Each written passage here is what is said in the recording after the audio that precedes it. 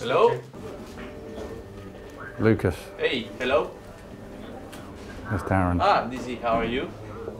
Well, I'm, I'm in Paris just about to go into the um, FIA uh, ACO press conference. So to talk about uh, Le Mans and uh, WEC. So I thought it was good uh, timing while uh, I was here to uh, tell you one of your uh, programs for 2015. So um, you'll, I think you'll be quite happy. Okay, let, tell me, tell me. Uh, you'll be racing in uh, one of the cars at Le Mans in LMP1. Oh my That's great news, man. Shit.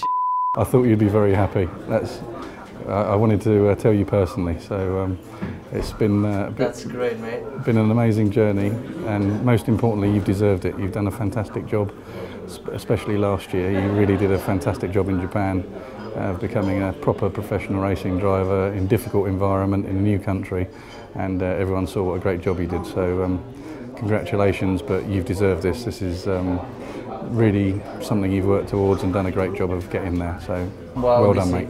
This is amazing. Great news. Thank you so much. Uh, unbelievable. Uh, obviously, better hearing from you, from your voice. That's really, really, really thank you. Thank you for everything. It's, it's great to hear that. I can summarise this end. He's very happy. Yeah, yeah, I'm very happy. Really great news. No worries. This is my day. Congratulations and well done. Th- You deserve it, mate. Well done. Thank you, Dizzy. Speak soon. Cheers. Cheers. Have a good day. Thank you. Bye. Hey, you prepare this. That was good. Amazing, man. Good news. Good news. Le Mans, Le Mans in LMP1. Wow, that makes my my day, the weekend, and the season for sure.